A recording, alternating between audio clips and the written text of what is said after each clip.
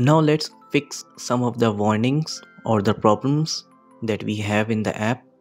So just click on this top right corner where we have this tick also. So from there we can have a look at all the problems or the warnings.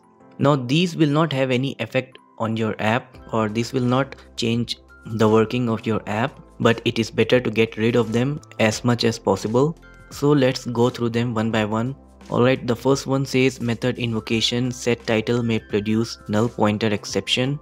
Now if we hover over the set title method, we have an tip that we can replace it with objects.require non-null. So let's do that, just replace it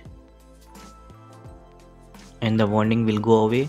Then the second one says anonymous new view.onClick listener can be replaced with lambda. So using a lambda it means that we can shorten up our code and it's still the same code but instead of using a lot of listeners or writing code without using an IDE it's better to go with lambda. So just hover over it and then replace with lambda that warning will also go away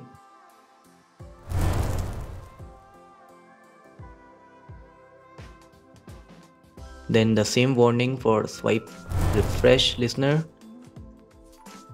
So we can replace it with lambda.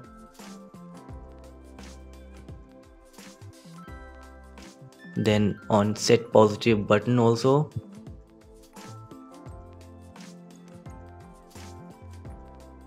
Then the next one is unused import statement. So we can just optimize imports optimizing means it will remove all the imports that we are not using.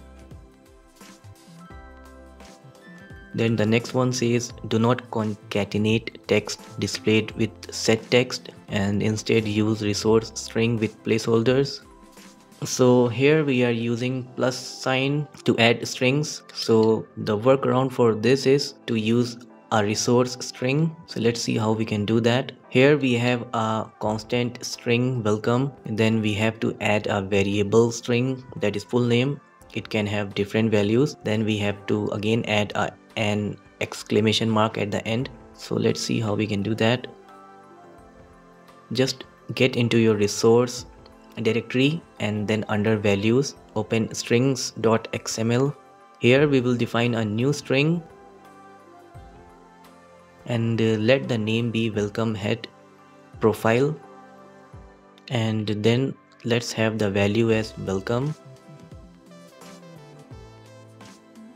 So in the user profile activity we can get rid of the string. So let's get rid of everything. And then we can just write get string. Then within bracket r dot string dot welcome head profile then comma full name. Full name is the variable that will hold the name of the user. So it is still showing an error because we have not set up any placeholder in our string resource. So let's get back to strings.xml and after welcome. Let's add one placeholder that is percentage one dollar s. S is for string then exclamation mark because we want to add the exclamation mark after the name of the user. So everything is fine now. And we don't have any error. Let's run the app.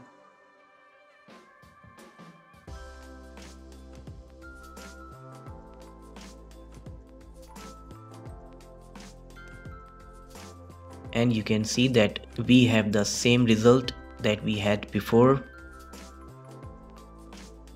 without concatenating the strings. So in the same way you can open the rest of the activities and try to get rid of the warnings or the problems as much as you can. And even if you don't understand them you can just leave them because they are not going to change the working of your app. It will remain the same so you can just leave it out if you want